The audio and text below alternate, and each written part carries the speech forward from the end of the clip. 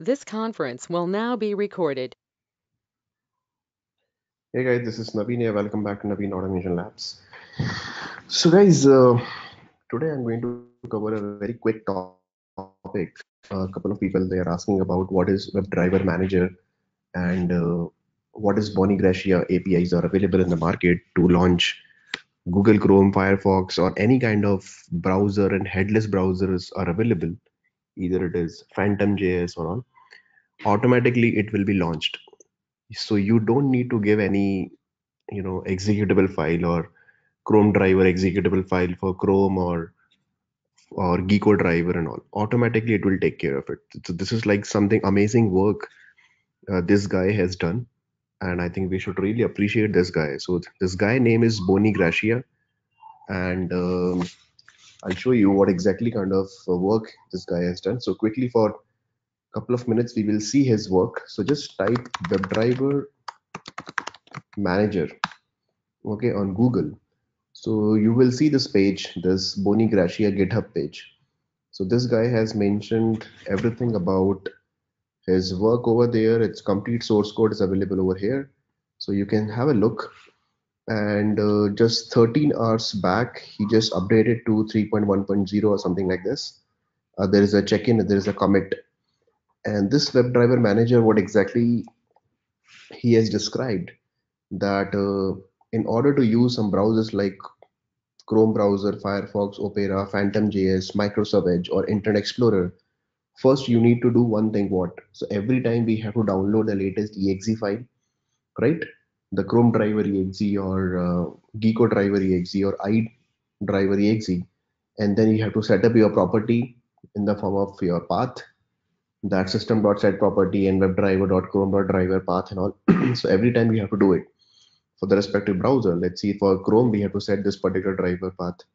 Same thing for gecko driver for firefox we have to do this. For opera driver also we have to do this. So this is a problem. So he has you know, resolved this problem. And what exactly he is saying that you just need to add this dependency right? And then you are good to go. And you don't need to do any kind of uh, you know uh, this location path setup or system system set property setup okay in your code. So you just need to add one line that is called webdriver.manager.chrome.driver right? Dot setup. That's it. Automatically chrome will be launched and along with that he has given some other options also. So we will uh, check some basic options like if you really want to execute a specific uh, version of google chrome or google chrome driver exe you want to use you can do that with that also. So it's very very amazing guys. I really liked it. So let's do one thing. Let's uh, i have already created a eclipse project a java project. And this is the maven java project actually. So i'll go to quickly that pom.xml file. In pom.xml file, I have added this Selenium dependency over here that so many times we have already done it. And now I'm to add Boni Gracia dependency over here. So let me take this Boni Gracia dependency. This is a dependency he has given on his uh, GitHub page. And uh, okay, so I added over here and then the moment I save it automatically Boni Gracia dependency all these dependencies will be added in your Maven dependencies over here so I can see that some dependency got added over here okay this you can see WebDriver manage 3.1.0.jar file got added it means now we are ready to use this particular Boni Gracia API so I'll do one thing that uh, in this particular package, SRC test Java, let's say I created one package. Inside this package, we will write a testng class. So I'll do one thing that let me add a testng jar also. Or testng, let's see library I'll add so that we can write testng. Okay, add it. And let me close this pom.xml file. and right click on your package. Just simple create a package and then create a class. Let's see my class name is webdriver manager wm test. Okay. And click on finish. And simple we will do one thing that we will launch a particular site and we will do just we will get the title of the title of the page or something. So i'll quickly write let's see the rate before method. And I'll write public void setup so that uh, I can set up my Uh, Google Chrome, everything. So at that before method, we have to import from TestNG. So just quickly import. And here, what exactly I'm going to write, guys. Now see this WebDriver manager. Okay. Dot.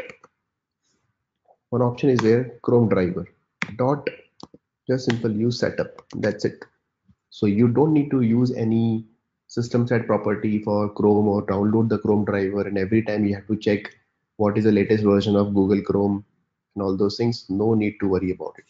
Okay, this line will do the magic automatically. After that, that's it. And after that, I'll write it simple at the rate test over here and simple I'll write public void. Let's see, my test case name is free CRM test. And uh, simple what I'll do after that. After setup after launching Chrome also I'll simple use my WebDriver like this. WebDriver driver is equal to new Chrome driver. And I'll do one thing this WebDriver initialization I'll do immediately after the class so that this driver can be used anywhere in your program in all the annotation methods. Okay, and let's import this WebDriver from Selenium. Fine. Say I'm here, I'm not giving any Chrome driver exe file path and simple use driver dot get method. We will launch the URL. My URL is let's see http colon www.freecrm.com. We will take and then simple we will use system.out.println driver dot. Okay get title method we will use just to get the title. And then once it is done we will write one at the rate after. Method public void. Let's see this is my tear down method. And uh, just import at the rate after method from testng and then simple write driver dot quit. Quit the browser. A very simple test case i have written. And you will see that google chrome is getting launched or not. Make sure Google Chrome is available on your system. It means the Chrome browser is available on your system, on your machine, like this, right? Now let's run this program and let's see what happens. So run as testng and let's see, it should launch Google Chrome. See, perfect. See, it is launching Google Chrome, freecrm.com. It should get the title and it should close the browser. Awesome. So I don't need to take care about Chrome driver and then where exactly the Chrome driver exe file. It is compatible with Mac machine or Windows machine or Unix machine or whatever. So automatically it will take care of it. This is amazing work this guy has done. We can save a lot of time and the maintenance point of view also this is really really good. So I really appreciate this guy that this guy has developed something like this. Okay, this is called a grid innovation now same thing if you really want to see with the uh, so this is for chrome. Now let's see for uh, we will check it for let's write a driver manager dot firefox. So you just need to write firefox driver dot setup you need to write. That's it. And instead of driver equal to new chrome driver we will use firefox driver. Now make sure Firefox browser is available on your system. It will not download your Firefox. Make sure. Okay, remember all these things, guys, that it will not download Firefox. Firefox and Chrome, this browser, these browsers should be available on your system. So let's run it and let's see.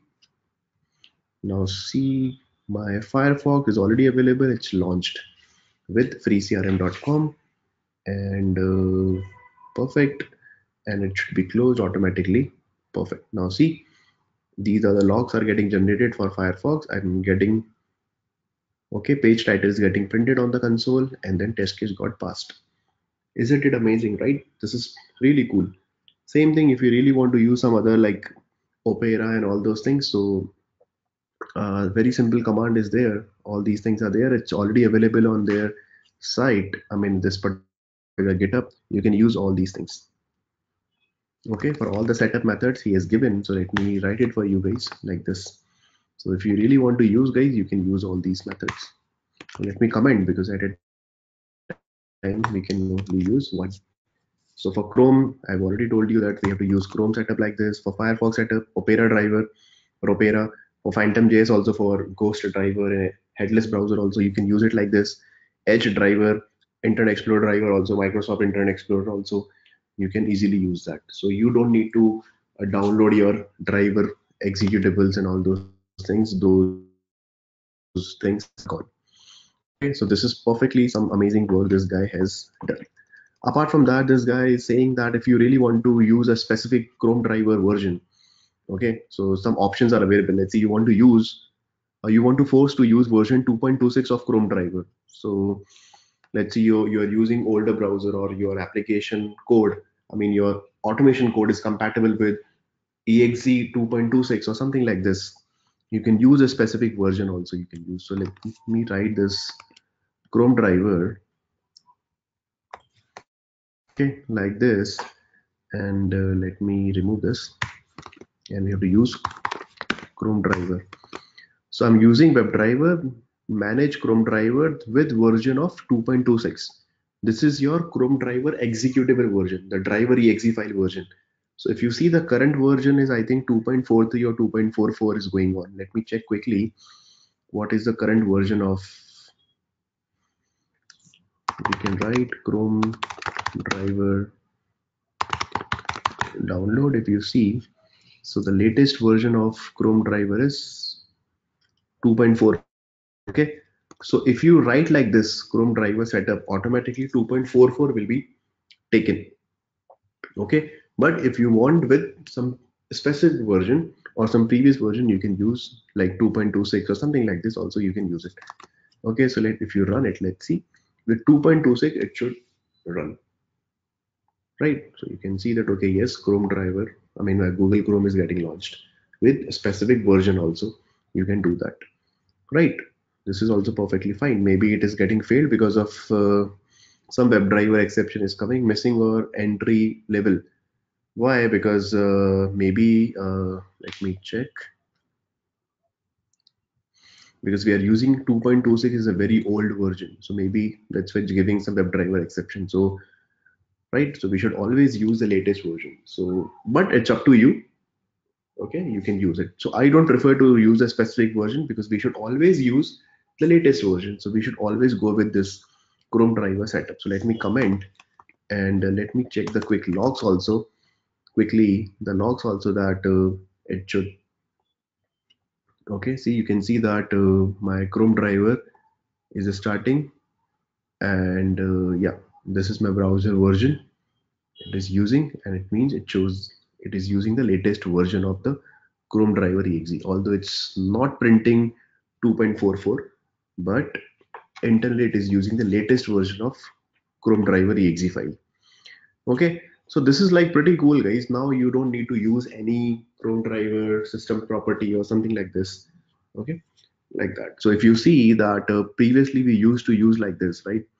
If you see any of the selenium class earlier that uh, first we have to set this property webdriver chrome driver and then chrome driver exe we have to set uh, put somewhere in documents or downloads or c drive or d drive and then we have to give the path and then we have to launch google so now we can ignore this particular line.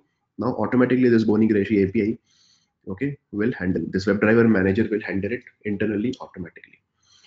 Okay so if you read its uh, documentation it's completely written over here that uh, some number of options are available that if you really want to use that firefox driver with arch32.setup it says that it force to use a 32-bit version of Gecko driver. If you really want to use the Gecko driver of 32 version you can also use that.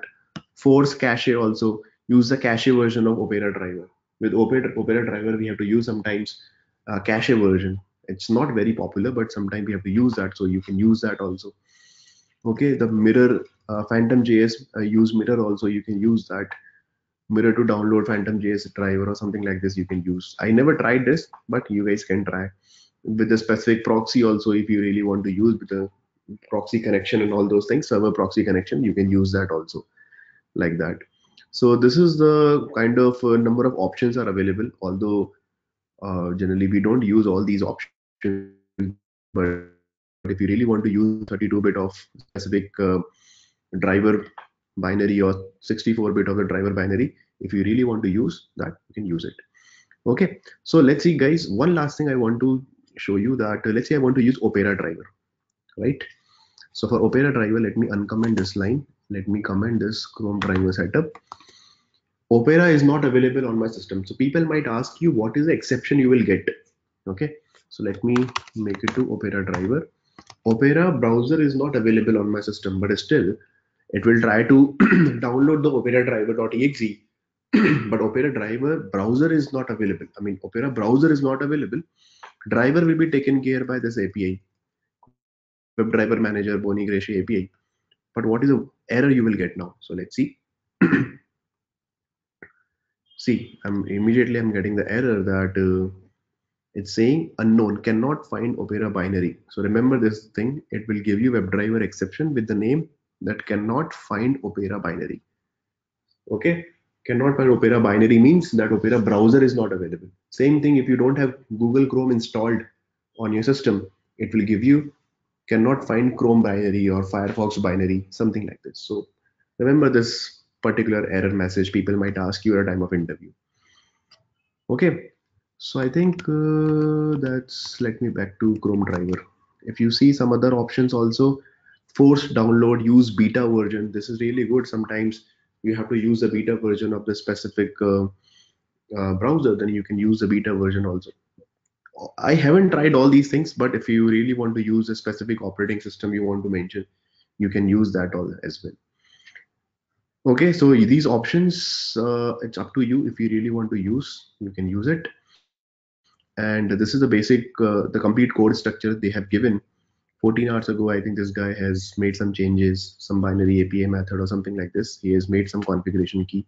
So although we are not bothered about it, but complete information about this API, how exactly he has developed, how exactly the internal architecture and everything he has written over here, along with all the server logs and along with all the uh, you know uh, build information also.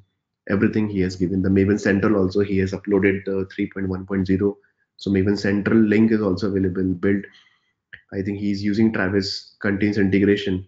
Yeah, Travis CI he is using. So you can see that uh, 14 hours ago he created a build 3.1.0 and all the build information log information is also there so why all these things are important why i'm telling you hi because it's sometimes it's you know whenever you are developing an api okay for the for the uh, for and you want to release in the market it's your responsibility to provide that what you have to showcase your development work that how exactly my continuous integration is working how exactly your your code base your test cases you have written. Okay so that you have to give you have to justify that your your api will be used by so many people in the market right? So that's why you have to provide all these information. And these are all open source so there is no licensing and nothing. So so let's say tomorrow i'm i'm creating a new uh, a new version of selenium or some automation tool or some very cool api i'm creating so it's my responsibility to provide all the information okay about that API with the complete source code also. Although it's like, okay, there is a agreement that, okay, this is under Apache licensing or something like this, licensing Apache or 2 or something like this. But it's provide the proper documentation. Everything is very, very important. Guys. Okay, cool. So I think we should uh, thank this guy, Boni Gracia. I think if we can check his profile. This guy, Boni Gracia. He is a software engineer and assistant professor and University of Rey Juan Carlos in Madrid, Spain. He's a Spanish guy, and this guy is really cool. If you really want to ask something, this you can mail, okay, and you can check his GitHub repository, and you can mail to this guy as well. Right? Perfect, guys. Thank you so much, and thanks for watching this video. If you really like this video, and if you learn something, please subscribe to the channel. My channel name, you all know that, Naveen Automation Labs. And uh, please subscribe, please share this video, and use WebDriver Manager from Boni Gracia. Thank you so much, guys. Thanks for watching this video.